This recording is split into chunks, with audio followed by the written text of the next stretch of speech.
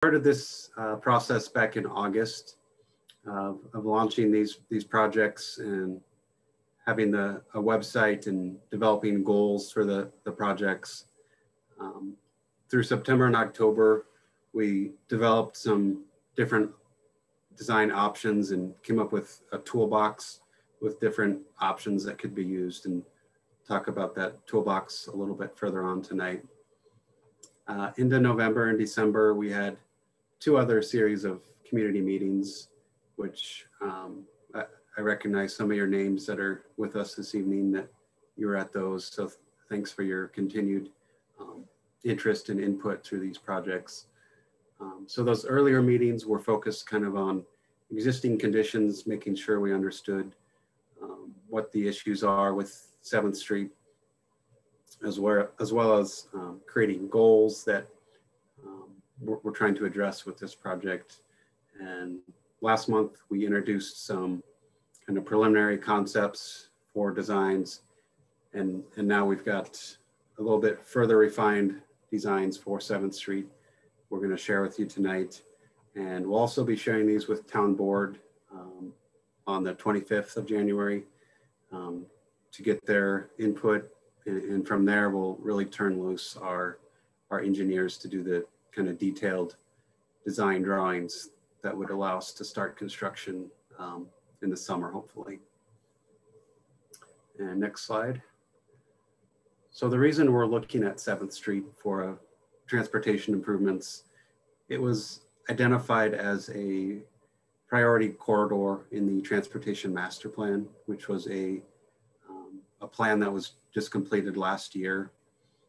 It identified 7th Street as a, as a key link needing um, multimodal improvements for um, pedestrian and, and, bike improvements. So it, it identified a protected bike lane as a, the preferred design option. And we'll get into some of those details further on tonight. And then it also identified these uh, pedestrian priority areas, which are the tier one or the kind of highest pedestrian uh, generators, uh, businesses, schools, parks, things of, of that nature. Um, so that those areas are really clustered around downtown and 7th Street and Main Street. So another reason we're looking at 7th Street tonight. And we've done considerable outreach to the community and um, you've likely gotten at least one of these if you're with us tonight, um, sent out postcards. We did an online survey with uh, over 400 responses, um, number of uh, social media postings and signs in the corridors um, and, and other, other means of getting the word out as we really do want to work uh, to create a project that that works for the people that live along and travel through these corridors and uh, need a project that uh, has your buy-in and uh, will work for the community. So that's we do want to hear from you. Um, and so in that vein, we, we have done polling throughout these projects. Um, the results here um, reflect that we did have, seemed like we were on the right track at our last meeting, that our existing conditions did match your experience for the most part. And next slide. And then it, it also seemed that uh, there was generally um, agreement with, with all of or, or most of the goals that we had written. And next slide. And then as, as far as the top goal, there was one that really stood out, which was the uh, goal to create a safe and efficient corridor that's friendly to all modes of travel. So that's reflected um, in a lot of our work you'll see tonight. And then I mentioned the online polling with, uh, looks like this, this, this question, we had 476 responses. And we had, we asked similar questions to, to reach maybe members of the community that didn't join our earlier meetings. Um, and they were uh, similarly positive uh, with around 70, 75% thinking we were on the right track and that our, our basic design looked reasonable.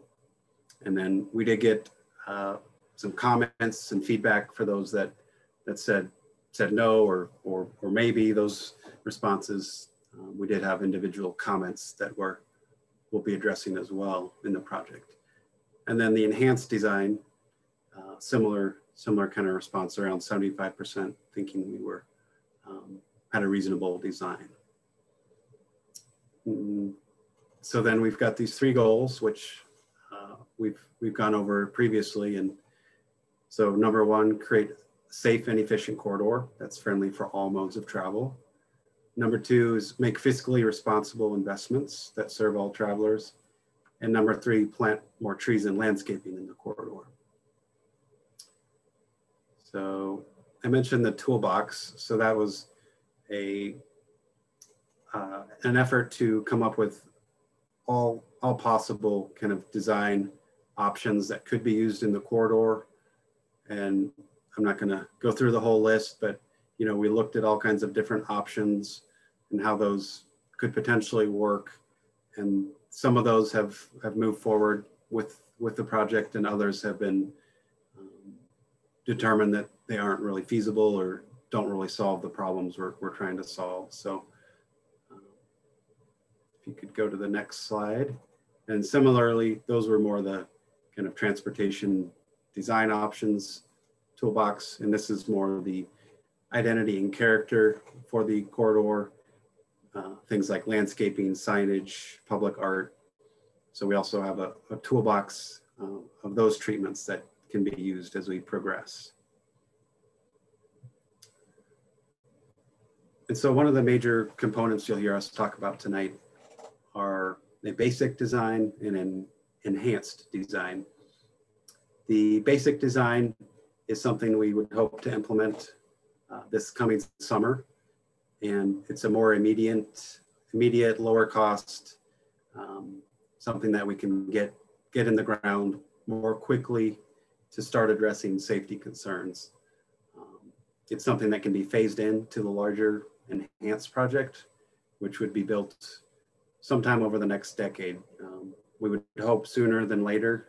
It's really going to depend on, on funding sources. And the um, those funding sources, so the basic design is already budgeted within the town's uh, 2021 budget. And as I mentioned, we'll, we'll be pursuing um, different grants and, and different opportunities for funding the, the larger enhanced design. The maintenance is something that can be, for the basic design, can be maintained with our existing uh, staff and equipment, while the enhanced design might require new, new staff and, and new maintenance practices. Both of these uh, require ongoing education, enforcement, and evaluation and so that's really a, a comparison of, of the two. And as you see images tonight, it'll be probably more clear where the basic is more, more about striping on the road and uh, different kind of more temporary uh, improvements, while the enhanced is more, more permanent in nature. So next slide. Carlos is going to take that one over.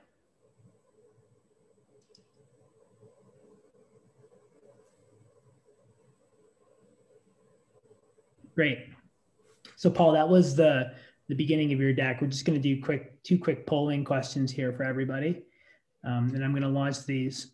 So thanks everybody for coming tonight. My name is Carlos Hernandez, uh, transportation planner uh, uh, on the project team, and you'll hear from me tonight when we uh, we get to the polling parts of the conversation. What what I'm going to do is um, I put up the poll. Hopefully you can see this.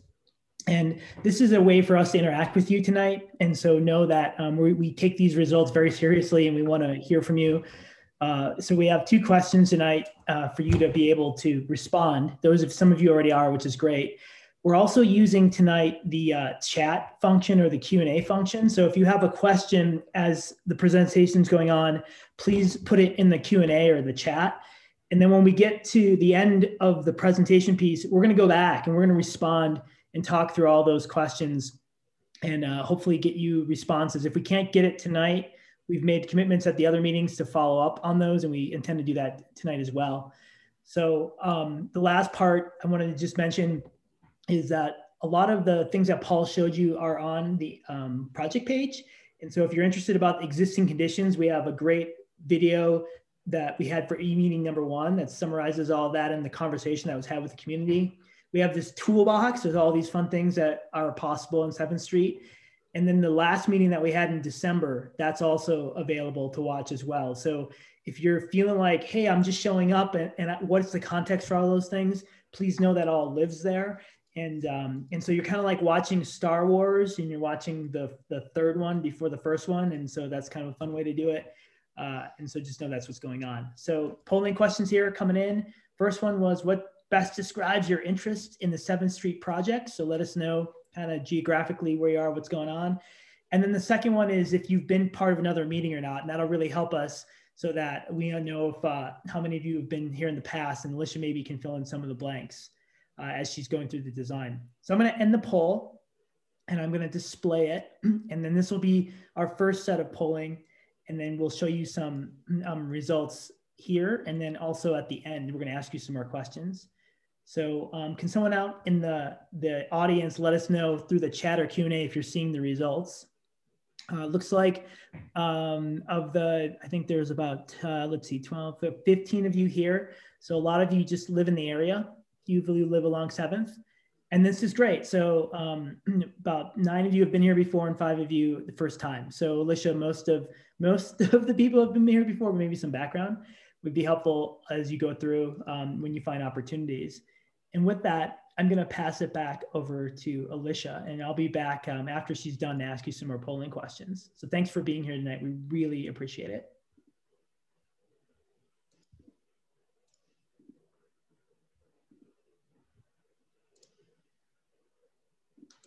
All right. Let's see, as long as everybody's seeing something that says 7th Street Basic. Um, I'm Alicia Zimmerman. I'm with Fox Tuttle Transportation Group, um, and I'm an engineer, transportation engineer. And I'm gonna walk you through some of the um, kind of the design concepts that we're looking at right now. Um, and this is a reminder, um, I guess your second tonight, that we're talking about 7th Street tonight. So if you have questions on Walnut, please uh, stick around tonight and then join us again tomorrow night. Um, but if not, this is what we're going over for now. So first, a little bit of background. I'm not going to get into it in depth as Carlos mentioned, but for those of you who haven't been in a meeting before, um, we certainly started on 7th with looking at the existing conditions. Um, and that just means looking at how the roadway is configured currently and you know everything up to crashes and uh, input we've had throughout the corridor on how it's existing, it's operating in its existing condition. Um, you can see from the cross sections over on the right that we have generally one lane each direction with turn lanes. Um, on the north end up here by the one labeled Ash, north of Main, there are pieces with two lanes southbound and a little bit with one lane uh, northbound as well. And those wide outside lanes, um, turn lanes. And then on the south end, uh, there's parking in the majority of the corridor and turn lanes in the middle um, for some of it. Sidewalks along the majority of it, they're pretty narrow, um, but that's generally what's out there currently. Just a little reminder, I'm sure all of you drive this regularly, but um, in case you don't have that picture in your head, this is a picture taken looking north from, you know, just close to the gas station looking north at Main Street on 7th. You'll recognize those flexible posts um, that make it so you can't turn left into the gas station. 7th Street approaching Walnut, also looking north and you see that pedestrian crossing. Um, this one is not signalized, but uh, pedestrians cross here. And then north of Stone, Stone Mountain, um, this is that area with the parking sometimes utilized, sometimes not on the outside. And uh, this is right next to the multifamily, um, which does have a little bit higher utilization there for the parking. Um, and then a center turn lane that turns into a turn lane at the intersection. So just three spots, but just to get you get your brain wrapped around what it looks like out there again. So, so when we looked into this basic design, this is what I'm going to talk through first. One of the things we wanted to do was just figure out how to quickly, really quickly, maybe in the next two years or next year, um, implement some good updates and um, some improvements with the budget that we currently have. And we kind of lumped those into three different areas um, of these kind of quicker fixes, including, you know, the pedestrian safety piece, the looking at crashes and how can we fix those uh, more quickly. And then also keeping in mind those some of these look familiar from previously in the presentation. It's because these all kind of relate back to those goals that Paul talked about up front. Um, a safe space for people to ride bikes being the last piece. On the ped safety and comfort piece, one of the first things we looked at was where pedestrians are crossing, um, where we've gotten input that pedestrians are crossing, and trying to make that a little bit more comfortable and safe for those pedestrians. And what we show here are what we call refuge islands. Um, they are either with temporary or permanent materials, and in this basic condition, they would be with temporary materials. You can see that in the, the bottom image is what those temporary materials might look like. There are many different variations.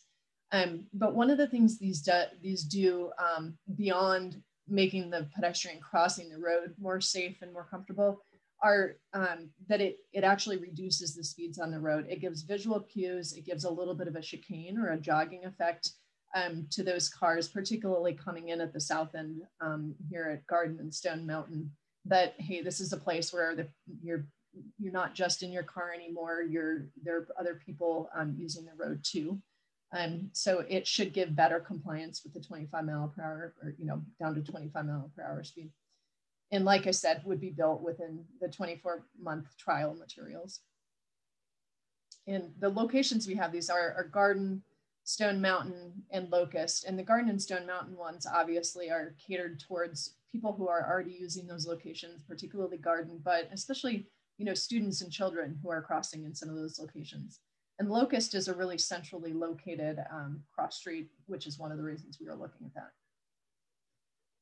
Also on the ped safety and comfort front, we wanted to make sure we didn't ignore some of the things that are both currently ongoing and maybe emphasizing them even more in the next year um, with some of these improvements are the current 2021 sidewalk maintenance pro program, and that goes through and replaces some of those concrete flags, the squares on the sidewalk when they need to be replaced and are cracked. Um, or sometimes it also, you know, will will level them out by uh, grinding down the, the lips when you, you know, see a little trip hazard, as well as ongoing ADA compliance, which just means those curb ramps that are going down to crosswalks. You can see one a little bit later here. Um, if they aren't in compliance with the law, um, you know, when we start doing improvements, um, and when they come across them in the maintenance program, they'll, they'll be updating those as well. But also considering things like tree trimming. You can see here, you probably barely even see it, that pedestrian sign for the pedestrian crossing. It's pretty hard to see um, because of things like tree, tree and hedge trimming. So trying to make sure that we're considering this from a budget perspective, but an overall perspective as well. As far as intersection safety improvements, um, one of the highest crash locations on this whole corridor is 7th and Walnut. Um, and particularly if you look at the crash rate, which means like per the number of cars and people who are walking and people who are biking coming through here, um, it's, it's a pretty high injury location. And so looking at ways to reduce that crash potential, potentially slow speeds, but primarily just reduce the number of potential conflict um, people turning a little bit unclear, you know, who, who's going at what time here, given the, the interaction with the Main Street intersection. Um, so one of the ways we were able to do that was by reducing the number of turning movements at the intersection um, and increasing visibility for those, uh, those more vulnerable road users by providing this uh, refuge island. It also reduces that crossing distance. So you can do it in two phases. Um, so this refuge island allows a pedestrian crossing from the corner to stop in the middle and then look at the other direction before they continue their path. It also includes um, improvements on the, the walnut legs of the intersection that are called curb extensions or bump outs and that reduce the crossing distance and help kind of visually give cues to control those speeds and give a little bit of calming effect as well. Um, in the basic option, this design would be implemented with 24 month trial materials, and those would look similar to the slide that I showed before. Um, but on the right, you can see a, a, little bit longer term one that has been in for a little while and is operating pretty well. Uh, the next intersection safety improvement one we're looking at is 7th and Main. Um, you all know and love this intersection or don't love it. Um, and we wanted to figure out how to, again, reduce that crash potential, clarify this intersection, and just figure out how to make it safer for everybody who's going through it. Um, so one of the things we looked at was doing curb extensions um, or bump outs with those temporary materials. Again, two good example photos in the slide there. Um, and that does shorten pedestrian crossing distance, but it also just narrows the look of the intersection without taking away, you know, vehicle turning radius capability or um, capacity for cars going through this intersection. Um, again, like I said, this one in the basic condition would be with those temporary materials, um, some good examples of uh, what those could look like on the right. Making sure we don't ignore the safer space for people on a bikes being one of the main goals here. Um, we're looking at potentially putting in buffered bike lanes along effectively the whole corridor. And you see with the plan view on the left um, that the kind of AutoCAD drawn up plan view is at Oak Street, but it really applies to most locations you can see that we still included parking on in a lot of the locations and that would mean there's parking outside of the buffered bike lane, just like the photo shows. Um, what does the buffer do? It just adds physical horizontal separation between a traveling car and somebody traveling on a bicycle. Um, it also gives a little bit more cue for the bicycles of where to ride in comparison to a parked car so that somebody opening a door of a parked car um, wouldn't necessarily, you know, the bike wouldn't be right up against them. Um, and really, like like the slide says here, it just gives visual cues to everybody of where their space is um, within this within this roadway. This would be 24 month trial materials, which just means that the, the actual paint materials we would put down here would require restriping, you know, within a few years and probably looking at uh, when some of those maybe enhanced projects come in, um, looking at restriping this with any minor tweaks that are necessary. This is the north end um, all the way up by Windsor Lake, and it's effectively the same, same idea, buffered bike lane, um, but it doesn't have parking, just it doesn't currently have parking. And so those bike lanes would be um, out at the edge of the roadway, kind of like the photo down here. So that means that they're buff buffered bike lanes all the way from um, Eastman Park Drive all the way up to the lake connecting to these um, trail connections.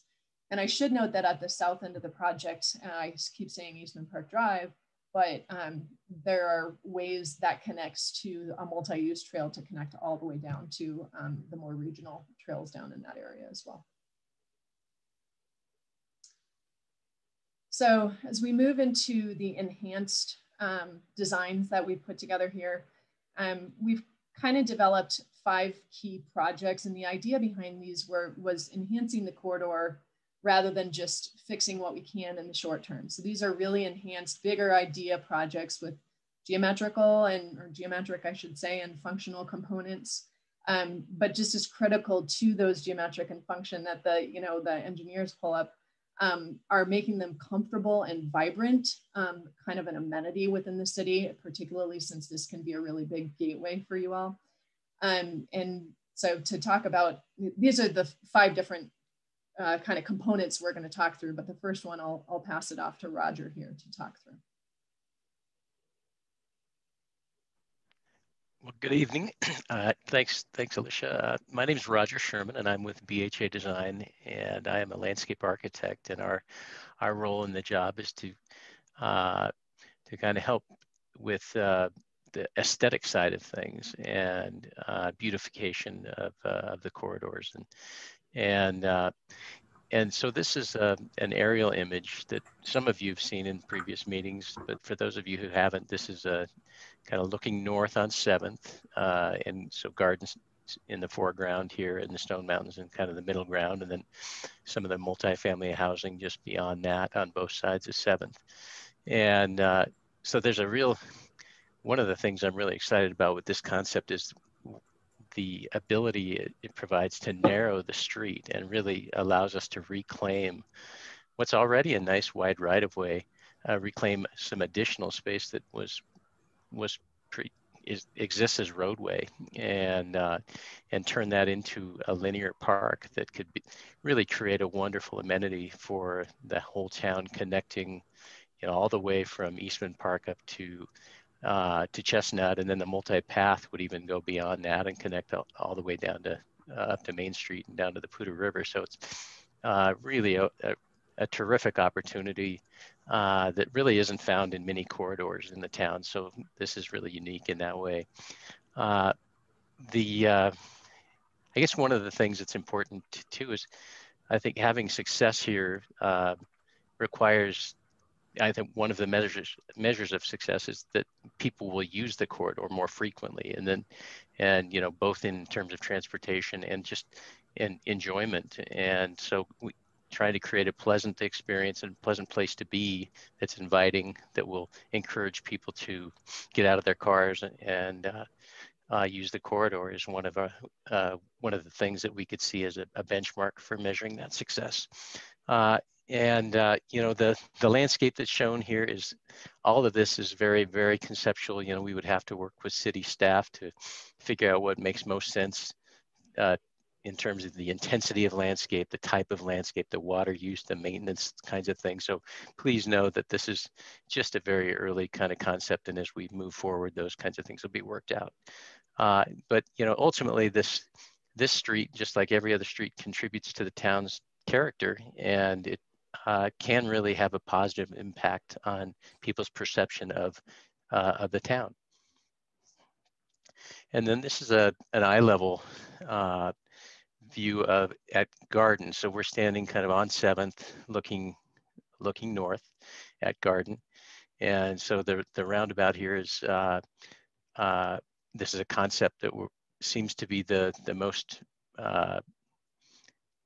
uh, feasible concept for solving the problems that we're trying to solve. And uh, on top of that, from a transportation standpoint, it really provides some really wonderful opportunities, like I said, to uh, to enhance the corridor. And some of those opportunities might even include things like pr providing a gateway to the surrounding neighborhoods. And, uh, and that, you know, that it doesn't have, it could be something very simple. It's just kind of framing the entrance to garden with something like lights or trees or, uh, uh, could even be some wayfinding signage leading to the schools or other eh, parks and things in the area.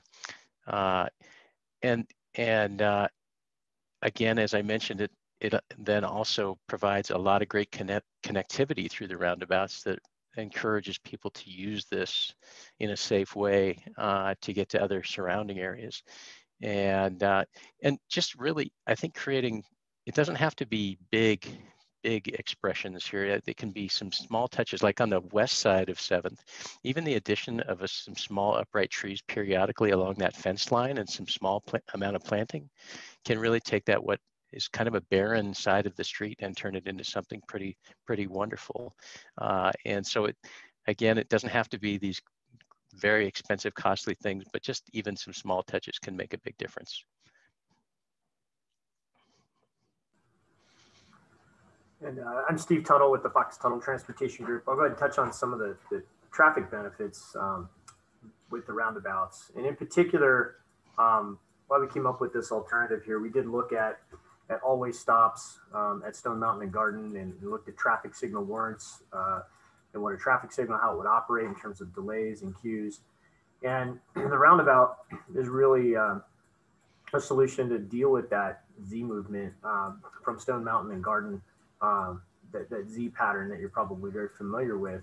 And, uh, and currently there's issues with the, the queues that stack northbound approaching uh, Stone Mountain and southbound approaching Garden, and those queues kind of compete in that in that limited space between the intersections. And a roundabout would solve this by um, by eliminating the need for for for having left turn storage. Essentially, if you're northbound heading into Stone Mountain, uh, you have very little opposing vehicles to enter that roundabout and make a left turn. So it becomes a lot easier. And similarly, on the south side at Garden, southbound heading into the roundabout, you have very little traffic conflicting with you, so you're able to enter and make that left turn. And so you eliminate the need and the issues associated with the queuing. And you do that without, uh, you know, with, with providing adequate level service uh, and, de and delays for all the movements versus some, uh, some of the, the levels of service and delays that we saw with the all-way stop signs and traffic signals would be pretty excessive. And then roundabouts also are, are very well known and, and for proving to, um, to reduce the amount of vehicular conflicts at an intersection, particularly those involving uh, right angle crashes and broadside crashes that are typically the more severe crashes. And so roundabouts eliminate a lot of those conflict points so that when crashes do occur, they're occurring at a much slower speed and they're often at a, at a uh, on a, a, glancing angle or a side swipe and much less severe. And then they also have the benefit of, of reducing speeds on the approaches and exits. Typically have to navigate to around 15 miles an hour on the inside of a roundabout. So it slows traffic um, and combined with um, with several of these along the corridor, it's going to um, have that effect of sort of keeping the, the speeds calm um, and, and not, not having people trying to, to speed up uh, back up to 55 miles an hour between the uh, between the intersections. And then also once they're built, they um, require a lot less maintenance. Once they're built, than a um, than a typical traffic signal, for instance. So next slide. And then uh, before Roger gets back into talking about um, some of the really cool urban design elements at, at 7th and Main. I just wanted to point out, building on what Alicia had talked about in terms of the curb extensions and the benefits of those to uh, pedestrians and, and, cleaning up the geometry of the 7th and Main intersection by um, redefining the lanes, uh, providing the buffered bike lanes, and uh, eliminating some of the some of the wasted space that's out there and some of the short additional lanes. Um, we have been working with CDOT and had a couple of meetings with them, and so um, and we're also taking a look uh, uh, to make sure the trucks can be accommodated um, for the movements that they're required um, and the types of trucks that, that we know travel through this intersection. I just so I just wanted to point that out uh, before I hand it back to Roger.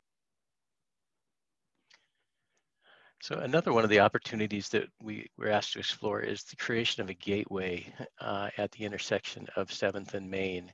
And this, uh, as, as Steve mentioned, uh, the, the curb extensions uh, they add space to those pedestrian areas on the side of the street and and really every little every square inch or square foot in these kinds of downtown urban spaces can really uh, add a lot of opportunity for for uh, creating visual interest and space for people on the sides of the street. So even though these are not big big areas that we're talking about they're big compared to what exists there today. So as we we bump out those corners it really does uh, make a, a big difference.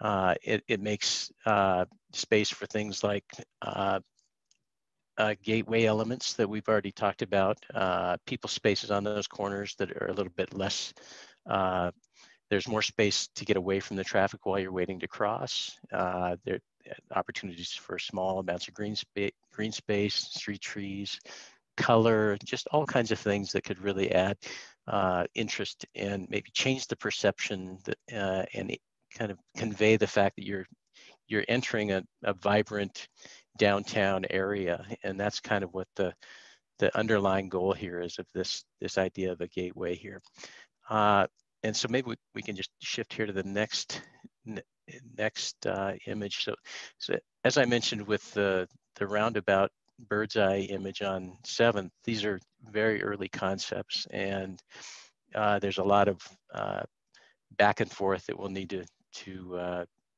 conversations we'll need to have with town and CDOT and uh, others involved to make sure that what we're doing makes sense and neighboring businesses, property owners, all of those kinds of things. But uh, so these these sketches really are early early ideas just to generate conversation and uh, reactions, uh, but they do start to convey some of the the ideas that the DDA has has developed, and, and they've created a set of a pretty interesting design guide guidelines for some of their signage. And so we thought, well, let's let's kind of try and represent what that could look like at this intersection. Uh, that it, it sounds like the, the big intersection to, for the gateway is at Sixth. So this would be an introduction of some of those kind of theme elements where we'd extend downtown a little bit uh, west of that that intersection. Uh, so it could be things like those those vertical elements, hanging flower baskets, flower pots, special pavement at the corners, uh, possibly even enhanced crosswalks and other plantings and things like that. But yeah, it, there's a good chance that the flowers won't be pink and purple uh, in the in the the final go around here, but uh, you never know. So uh, anyway, just fun to explore some ideas early on and see what's possible.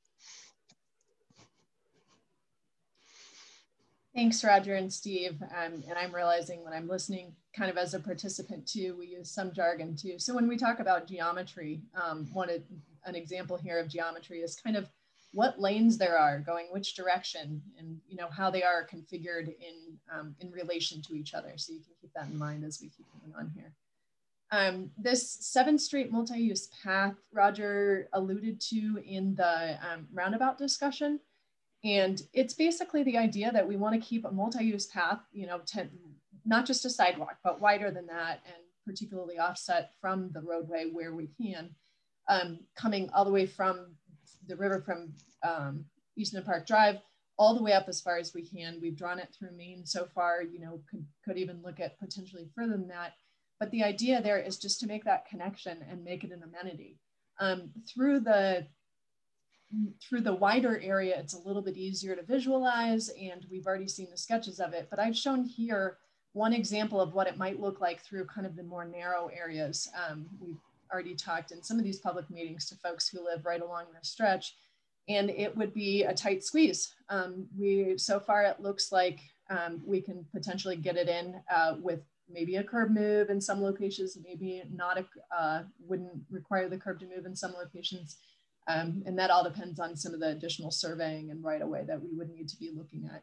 But this this image really shows kind of what it might look like in those locations where it's tighter. Still be a nice amenity for those who, you know, like myself, I have little kids. I don't always run it, want them riding on the road or if I'm walking with a stroller um, to be able to make that connection all the way up. Um, as you can see, the arrow is pointing to what we call a multi-use path.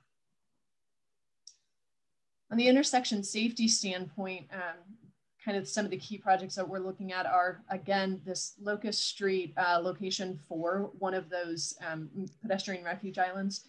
The reason we're only showing Locust in the enhanced version is because in um, the enhanced version, there are effectively already um, you know, refuge islands because of the roundabouts. They're called splitter islands, those little triangles coming into the roundabout. You're, you're able to cross one direction, one lane, stop, you know, look the other direction and cross. So those are actually taken care of, which is one of the reasons we want to do those in temporary materials to start with. But this locust one, you know, if there need any tweaks or anything like that, those are made and then it's installed with um, transition to some of those more um, hardscape materials uh, into concrete raised, kind of like the photo on the right.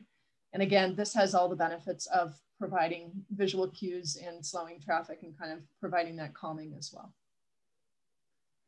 And then the last intersection safety project we're talking about in the enhanced version is taking this 7th and Walnut um, that we've talked a little bit about the configuration before and moving it into that hardscape or putting concrete in to make it a little bit or more, much more permanent um, after we've done any tweaks that are necessary and, and, and seen um, the improvements that's made. And I didn't talk last time about exactly which movements are allowed and how that's changed. And so I'm going to talk for just a second about that now before we finish it up. Um, but you'll see that east-west on Walnut, you can currently go across. Um, you would stop at the stop sign and go straight across. And we don't see a ton of, um, we don't see significant volumes that are doing that right now, um, given the traffic counts that we've taken, but there are a few.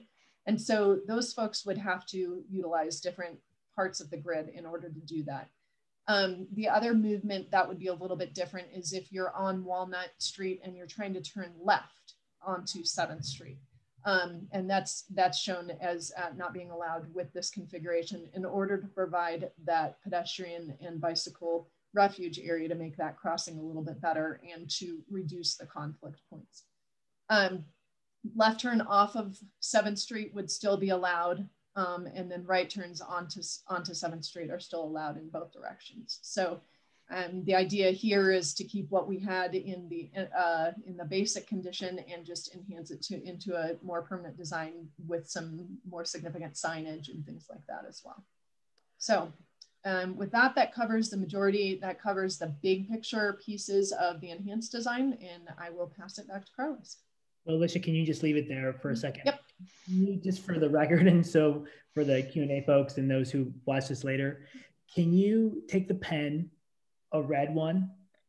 And can you draw the two movements that are not going to be allowed to happen anymore when the island is there? So you can't I didn't get red, but you can't okay. go straight. You can't go straight through. So if you're on Walnut going east or west, you can't go straight through that one. And then what are the what's the other one? Okay, so then if you're Walnut and you want to go south, that no more. And then if you're Walnut and you want to go north, that one, right? And so those movements were the lowest volume movements based on the counts. And so we were trying to figure out how to get a refuge in the middle and make it safer, but still accommodate the big movements. And so the design that you have here took the lowest movements out, but still keeps the highest movements. And in, in a green pen, the one of the high movements, right, is if you're going north on 7th and you want to make a left-hand turn to go west on Walnut. That's still allowed, correct?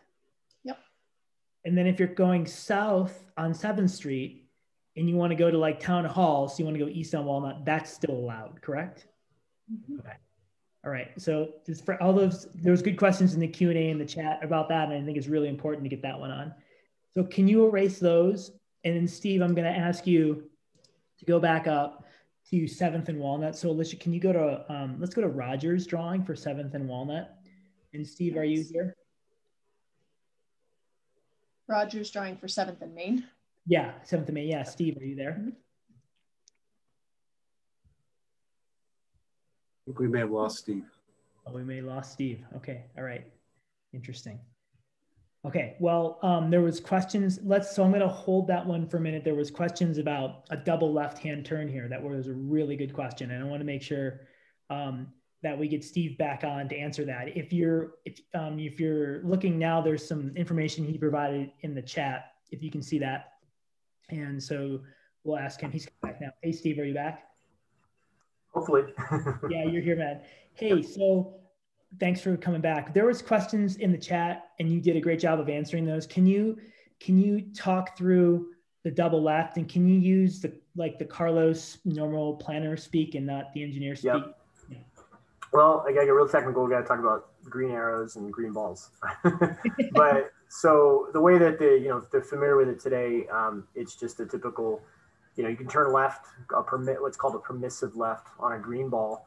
Uh, you know, you yield to traffic coming at you, and then you can turn left at any point during the green portion of the northbound southbound phase on Seventh. You can turn left to go west on Main. What we've talked to CDOT about is if we go to a dual left turn, side by side left turn, that creates a sight distance issue for the outside left turn that can't see across the, the, the opposing left turn on the other side of the intersection. So CDOT would require that those left turns would only, the north and southbound left turns would only be able to be made on a green arrow. So you can imagine that if 7th Street gets 30 seconds uh, of green time normally, and at any point during that 30 seconds today, you can turn left as, as long as there's not an opposing through vehicle, conflicting through vehicle coming at you. Um, when we go to a green arrow, you might only get six or eight seconds uh, to be able to make that left turn. And then the rest of the phase, while southbound is going, you can't turn left. And so that actually results, and you see this happen sometimes, it actually results in worse level service for the northbound left turns and the southbound left turns that would have to go to what's called protected only or just on the arrow left turn. And so we had talked with CDOT about, you know, whether they would permit it or whether they would require it to operate that way. And they essentially said well, the busiest times of the day, we'd require it to operate that way. Well, that's when we need it. At nine o'clock at night, you can imagine it'd be pretty annoying to be out there waiting for a full minute to turn left because you have to wait only for the arrow. So hopefully that's uh, that, that makes some sense. Um, and we were hoping that um, that we might uh, might be able to find a way to make it work, but the sight lines and, and the safety considerations associated with it um, are, are really what what kind of kills that idea for us. And then, um, Alicia, I'm gonna go back down. To, Alicia and Steve, can you go back down to Walnut and Seventh? And we're gonna get to the other roundabouts in a minute, so don't worry. Those who ask questions about it, thank you. Uh, so, Steve and Alicia, there was a question about couldn't you consider a roundabout at this location? And so, I know that you looked at that. Can you talk a little bit about that one? Yeah, it's just that that is so close. I don't know how many hundred feet. I want to say it's four, you know, 400 feet or so from Seventh and Main. And so you can imagine that, you know, we know that there's a lot of northbound vehicles and that the queue for the left turn we talked about can back up to Walnut sometimes. If it's a really bad day and it backs up into a roundabout, essentially then any vehicles can't circulate into the roundabout. So now southbound vehicles on 7th can't get into that roundabout and now they back into Main. And now the cars can't, the northbound cars can't go anywhere, the southbound cars can't go anywhere. So essentially roundabouts can create gridlock when they're near signals. And so we try not to locate them. Um, typically, you know, I try to stay anywhere from, uh, you know, 1200 feet or greater away from a signalized intersection. And so this, this intersection is really just too close. And then wasn't there something about trucks as well and like the, the, the width that you have there in order to get a roundabout to work there and the size wasn't going to be so great either? Was that an issue? Yeah, no, I mean it's it, because this isn't a truck route, so it's it's a little tighter than Stone Mountain and Garden, so we certainly don't have the room to work with there, where those are T intersections, and we've got a whole sort of leg that doesn't exist that we're able to widen into, and so that would be pretty difficult um, to accommodate any, you know, accommodate say a forty foot bus in a in a in a tight roundabout like this without having to take some right of way or, or completely rebuild on the corners.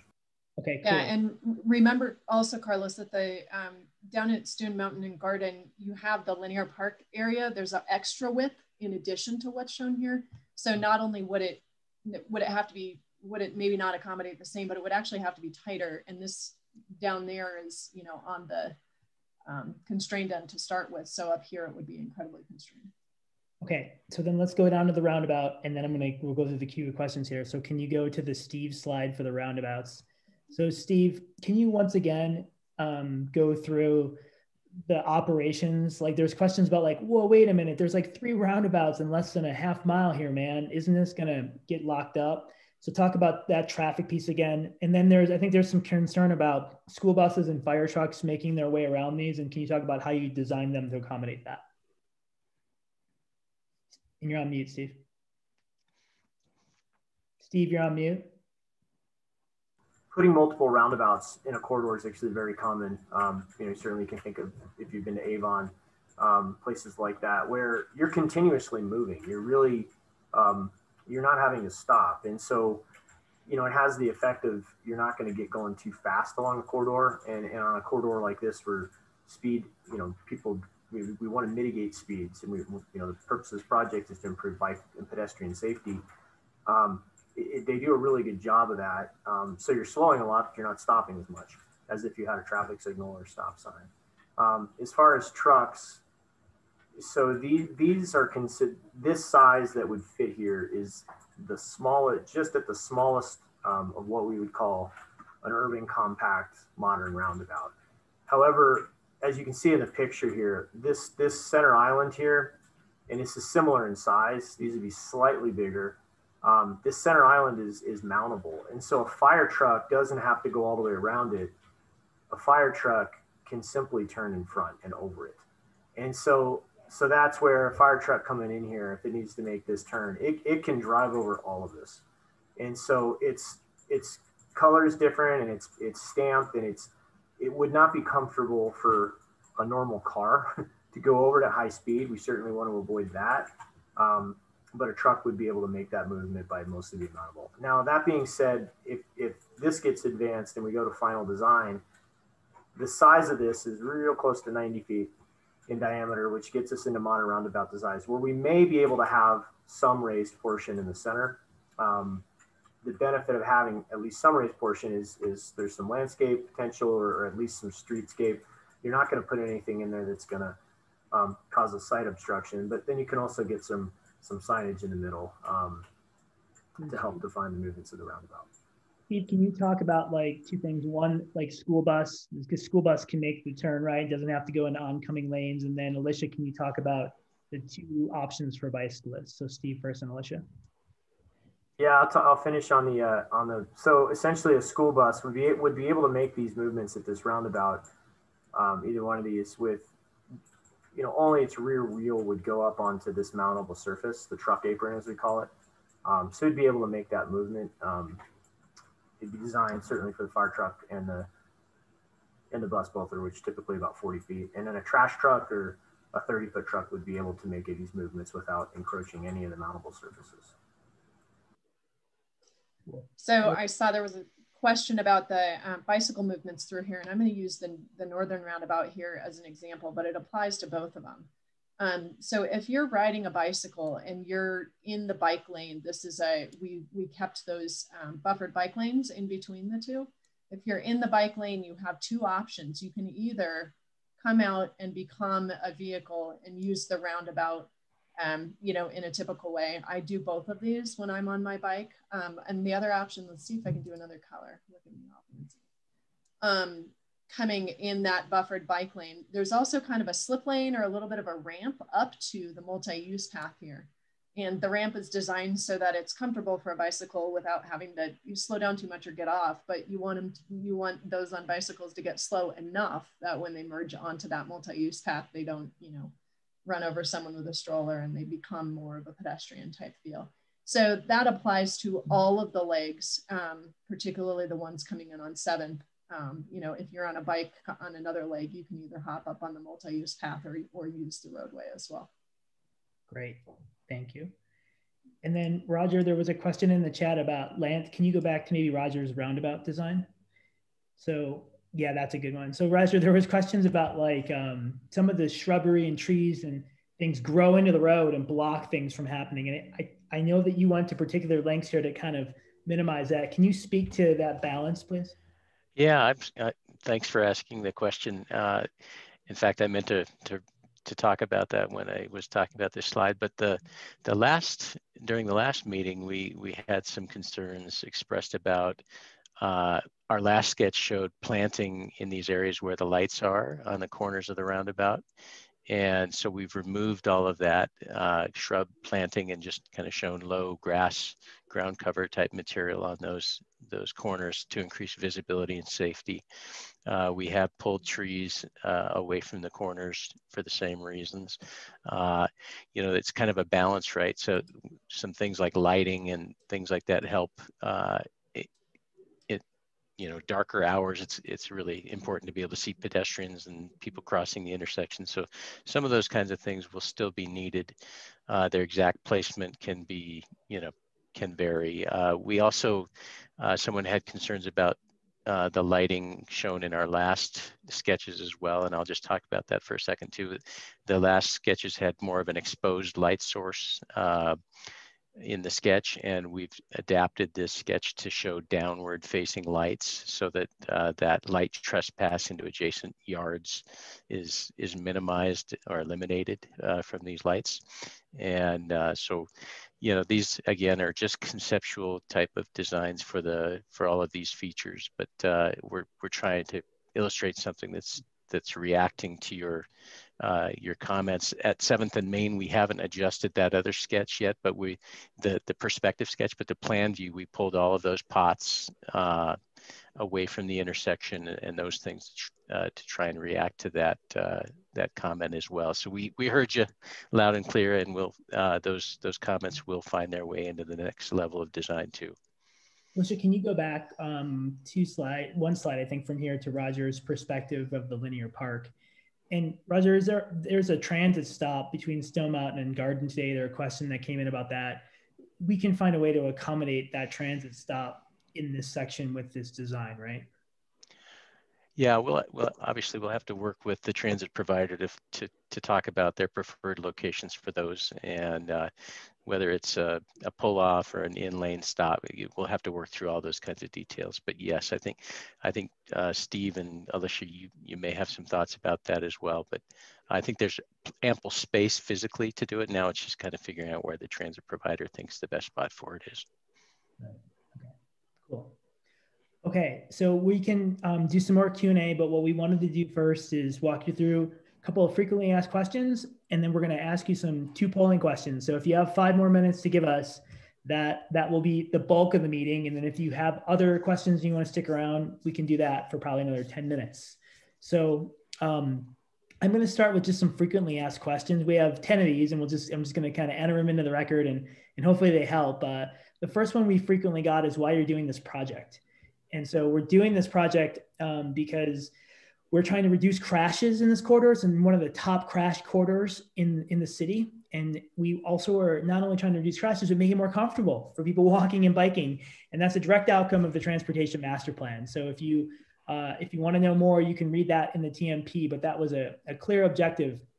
uh, that was stated and supported by town board. So that's why we're doing this. Second question we get quite often is, hey, like you're making all these changes and uh, okay, fine with the recommendations, but like, is it going to make it any better? Like, what, what are you going to really do to make it better? And so um, the first thing that we've been talking about is how the corridor today has some really wide spaces. Like if Alicia would put up those corridor pictures where there's a lot of asphalt out there and the lanes are kind of not, they're inconsistent. And so when Steve and Alicia keep saying the geometry, what they're talking about is getting the lanes striping in the right places so that it's less of a demolition derby out there. And so that people are driving in the same uh, right spaces, predictable spaces. There's a place for people to bike in the proper spaces in the right spaces and just some more awareness for everybody out there. And so that's like really what how it can be better. And then clearly, like all these things that Roger's been talking about with the landscape and design and lighting are trying to make it a better presence for the quarter. Third question we get quite a bit is like, why are you doing a basic and an enhanced? Isn't that just a waste of money? Like, like aren't you just going to do the basic and then you'll never do the enhanced? Or like, why waste the money on basic? Just do the big ones, right? And those are really validating questions. And so the reason why we're doing basic is it's going to take some time to save up or get the grants to build these bigger projects. And there's no reason why we should leave what's out there the way it is because of the safety issues. So the basic designs are a way to start the journey and try to mitigate crashes, make it more predictable while we're waiting for the, the bigger projects. And these basic projects, I know that some of them initially might not be the, the most aesthetically pleasing things, but they, they really have been proven to reduce crashes and get people feeling more comfortable out there. And they allow them to be transitioned. So we're not wasting anything. We're not building anything that we're going to have to tear out by this kind of phased approach.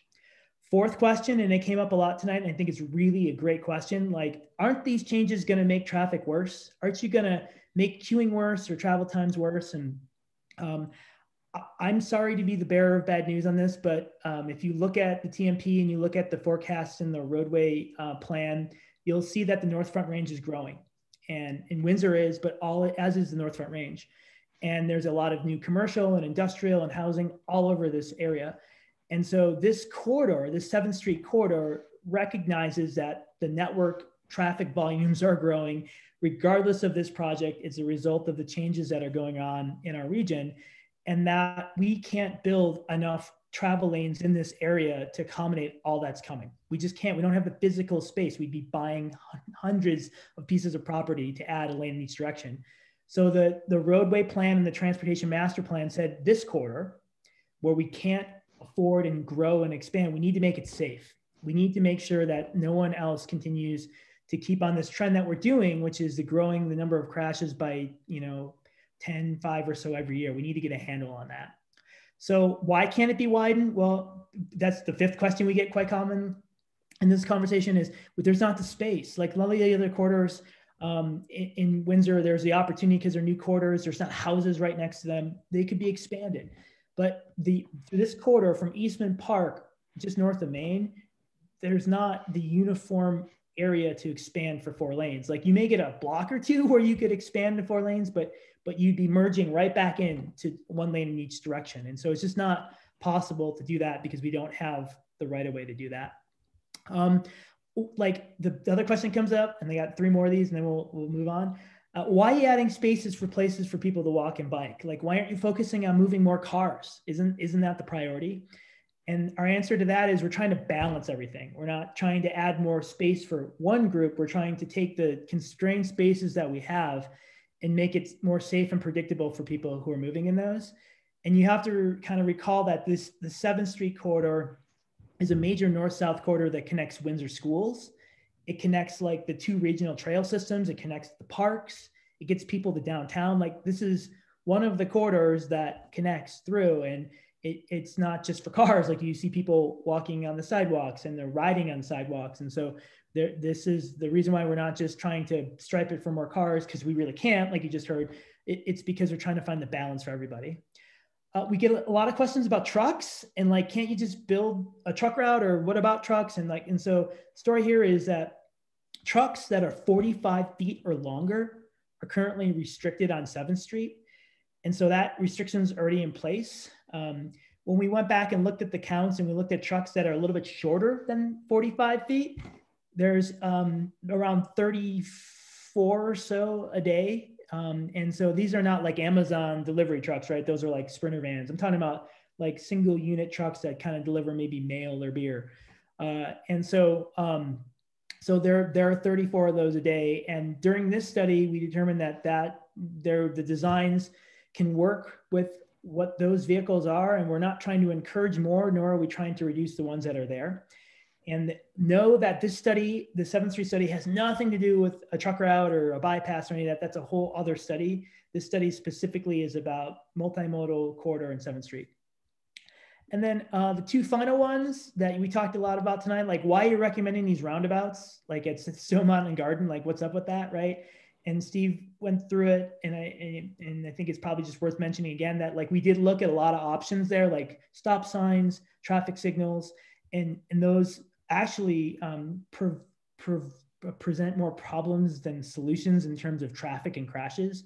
The roundabouts actually help solve a lot of the challenges because of that close I call it a Z movement. Some people call it an S movement. They're really close intersections. And so they're ideal candidates for roundabouts and, and reducing crashes.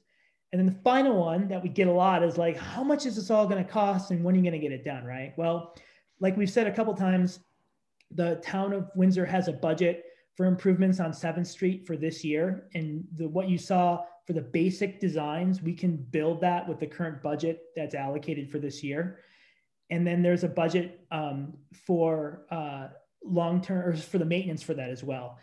And then we are already starting to apply for some grants for the longer term projects. So we're not going to wait. We're already kind of starting to try to move forward with ideas. Like you're going to build something in hand, start to get the money together because it could take a couple years to do that. And so that's that's the you know reason. So that's the strategy behind the funding. So those are the the top questions that we get. And hopefully that answers any more outstanding questions you may have. Um, we're going to do some polling questions too. And then those who want to leave, thank you for being here tonight. We appreciate it. Those who want to stick around, we can answer some more of the questions that come in the chat for a little bit. So um, Alicia, I think you can actually do this. Do you see that thing that says um, launch poll? You might be able to do it. If not, I can reclaim.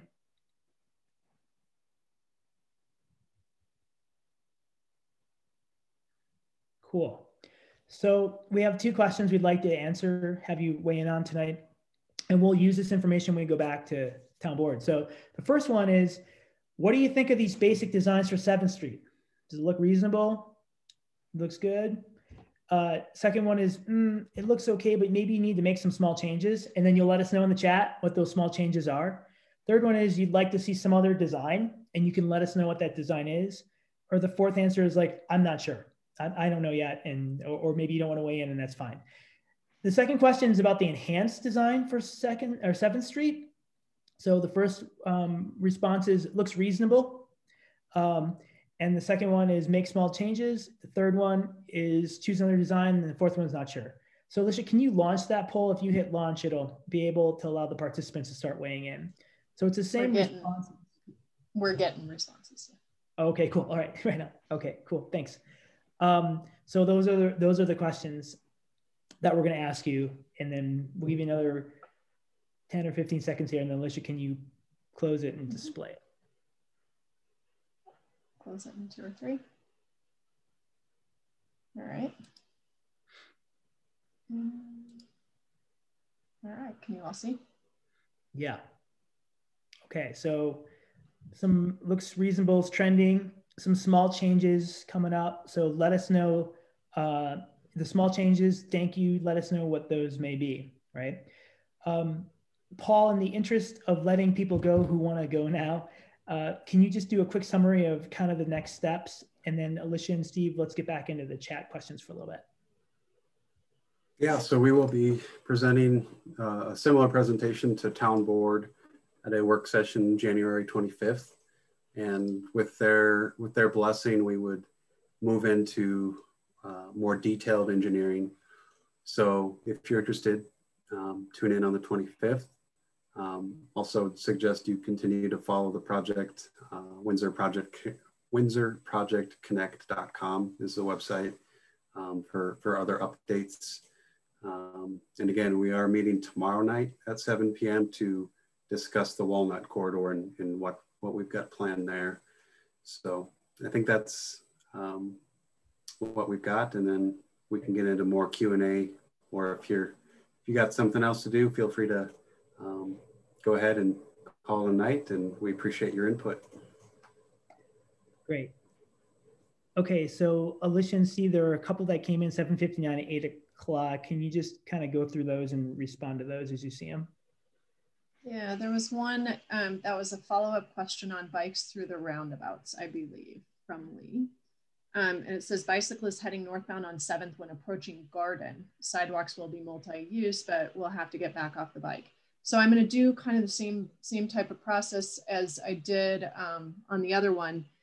It's cut off here, but there are um, proposed uh, buffered bike lanes all the way down to the south. So you could come up in the buffered bike lane and we've shown the, the path on the outside of the roundabout wide enough that you could, as somebody on a bicycle, come up the ramp in the same manner and use this crosswalk to cross and then use the multi-use path all the way, you know, the rest of the corridor if you want, or you could use the ramp back down to get back on the road. And then the other option for those who are more, you know, on the road riders, you're in that bike lane and then you hop off and go around the roundabout. Hope that answers the question.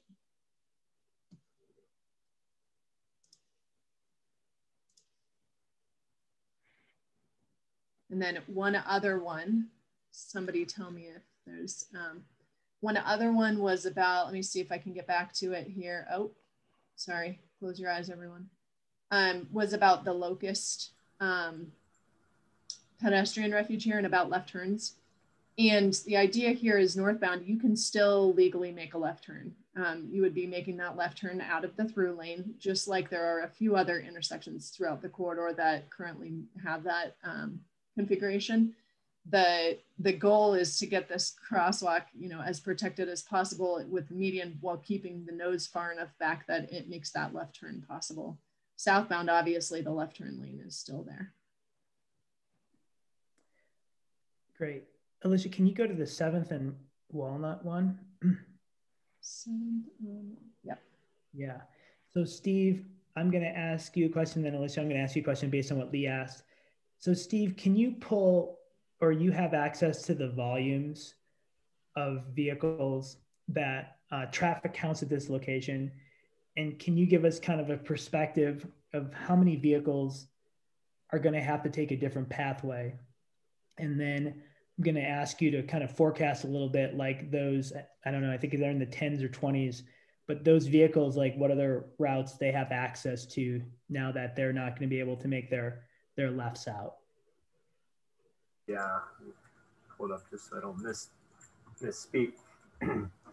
but the uh, so we did get peak hour counts in the in the, the morning and afternoon, uh, evening periods, uh, as well as pedestrian bike counts back in February 2019. So this was during non, you know, during COVID, uh, pre-COVID conditions.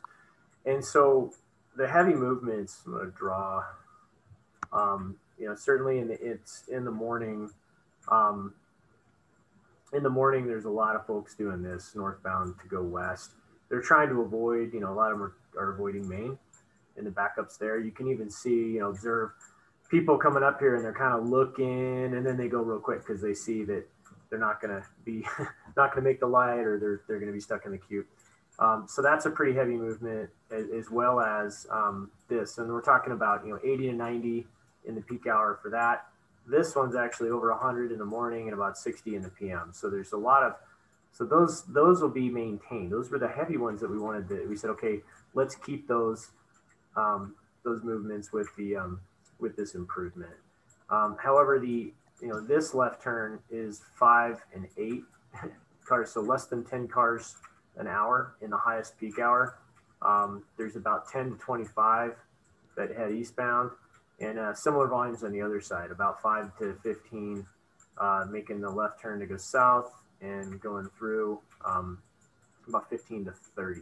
So we're talking about 40, 40 to 45 vehicles um, for instance, that are doing this or doing this today, um, that if they were to come here, they would make a right turn. The nice part is, is you look at this, and this is a great grid. There's so many different routes, so many other different routes that by the time you take 45 vehicles and you divide it up, it's not like everybody's going to go to one spot. Um, you know, there's lots of places to turn. Um, there's other ways to get to get south from the east side of Walnut. Um, you know, I know we talked at the last meeting. I, I think there were some folks that kind of lived in here, and they said, "Well, you know, our route is to go this way um, because they know that this signal up here is really short. so we've we've actually spent some time looking at this signal, and it's an all pedestrian phase because the school there's not a lot of time to make this left, so that backs up and they said, well, you know, we're going to end up driving through the McDonald's parking lot. so we're sensitive to that. Um, but in the general context of overall volumes, the amount of traffic that would be rerouted is pretty low. Um, you know, meanwhile, just to give context, north and south on 7th during the peak hour, there's over a thousand vehicles an hour. So while it's an inconvenience for some, it's not a not a huge volume.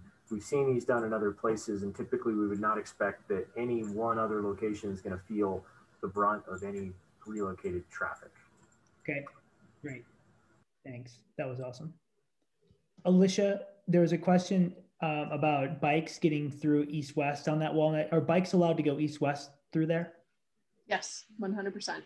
Um, I only showed one of the legs here, but on Walnut, if you come tomorrow night, um, spoiler alert, mm-hmm. we have some buffered bike lanes shown. And this actually shows um, that bicycles get priority here and those um, this is called a trap lane in traffic engineer speak where you're coming along and it puts you into a right turn lane and so then the bicycle somebody on a bicycle would be here and they wouldn't have that turning conflict anymore coming across them they stop here and they go across and there's a, basically a bicycle storage area here um, alternatively if you're more comfortable with it you can you know become a pedestrian either here or like this and cross as we'll do a different color here. Um, a pedestrian coming up here would cross in two, two stages as well um, in either direction. Nice. So the same configuration exists going um, eastbound as well. Cool. Thanks, Lee. Thanks for asking good questions. They're going to be helpful for people who come back and watch this later on as well. So thanks for doing that. Is there anybody else in the, the last minute or two here that we have that is anything else that they they want clarification on okay i'll let you think for another minute paul can you just uh, replay the uh, the next meeting and next steps for everybody just for the record yeah so this is hopefully our last uh, community meeting on on 7th street we'll be meeting on walnut street tomorrow night at 7 p.m and we'll be presenting both to town board on January 25th. So tune in if you're interested there, and then follow along on the project, uh, Project Connect, WindsorProjectConnect.com as well. Great. Okay. Well, at first, obviously, thanks to everybody who stuck around, everybody who was here tonight. Really appreciate your time and effort. And Paul, anything else? I think that's it. Thank you, everyone. We appreciate your your input and time tonight. Good night, everybody.